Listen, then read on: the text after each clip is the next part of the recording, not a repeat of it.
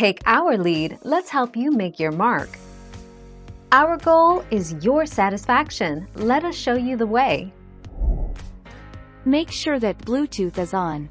Put both AirPods in the charging case and open the lid. Press and hold the setup button on the back of the case until the status light flashes white. Select your AirPods in the devices list, then click Connect.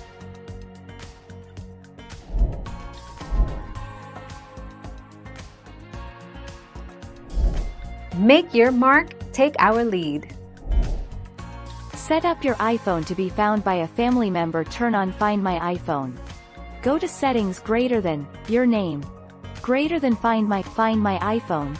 Then turn on Find My iPhone, Find My network, and send last location. To set up other devices, see Add your iPhone to Find My.